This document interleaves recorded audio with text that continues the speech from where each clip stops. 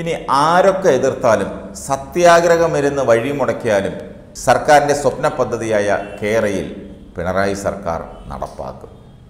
പദ്ധതിക്ക് വേണ്ട മുപ്പത്തി മൂവായിരത്തി എഴുന്നൂറ് കോടി രൂപയുടെ വിദേശ വായ്പയുടെ ബാധ്യത ഏറ്റെടുക്കാമെന്ന് മുഖ്യമന്ത്രി പിണറായി വിജയൻ ഡൽഹിയിൽ നേരിട്ടെത്തി കേന്ദ്ര സർക്കാരിന് ഉറപ്പ് നൽകി.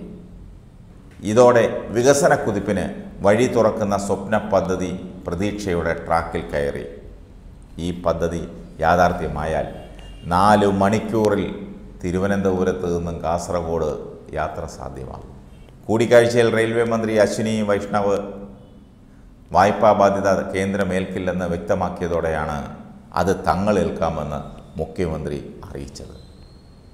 മന്ത്രിസഭയുടെ അനുമതിയോടെ കേന്ദ്രത്തിന് സത്യവാങ്മൂലം ഉടൻ അയക്കും.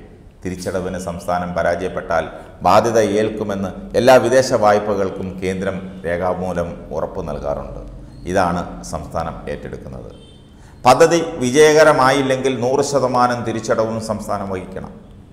പിണറായി ഉറപ്പ് നൽകിയതോടെ വായ്പയ്ക്ക് കേന്ദ്ര അനുമതി കിട്ടും. പക്ഷേ കേന്ദ്രം ഗ്യാരണ്ടി നൽകാൻ സാധ്യതയില്ല. പദ്ധതിക്ക് റെയിൽവേ ധനമന്ത്രാലയങ്ങളുടെയും പ്രധാനമന്ത്രിയുടെ ഓഫീസിന്റെയും കേന്ദ്ര ക്യാബിനറ്റിന്റെയും അനുമതി വേണം. ഭൂമി ഏറ്റെടുക്കലുമായി മുന്നോട്ട് പോകാൻ കേന്ദ്ര ധനമന്ത്രാലയം അനുമതി ഇതിനകം നൽകിക്കഴിഞ്ഞു. തൊള്ളായിരത്തി എഴുപത്തിയഞ്ച് കോടി മൂല്യമുള്ള നൂറ്റി എൺപത്തിയഞ്ച് ഹെക്ടർ റെയിൽവേ ഭൂമിയും രണ്ടായിരത്തി ഒരുന്നൂറ്റി അൻപത് കോടിയുടെ കേന്ദ്ര ഓഹരിയും വേണം. റെയിൽവേ കേന്ദ്ര വിഷയമാണ്.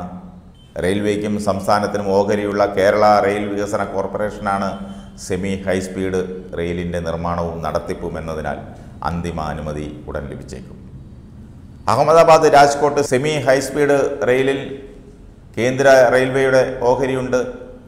ബാംഗ്ലൂർ സബർബൻ റെയിൽവേ കേന്ദ്രവും റെയിൽവേയും കൂടി ഉൾപ്പെട്ട കമ്പനിയാണ് നടപ്പാക്കുന്നത്. അതിലും ഓഹരിയുണ്ട്.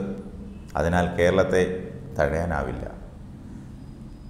ജപ്പാൻ ഇന്റർനാഷണൽ കോഓപ്പറേഷൻ ഏജൻസി അതായത് ജെയ്ക്ക ചെറിയ പലിശയ്ക്ക് എത്ര തുക വേണമെങ്കിലും ഈ പദ്ധതിക്ക് തരും.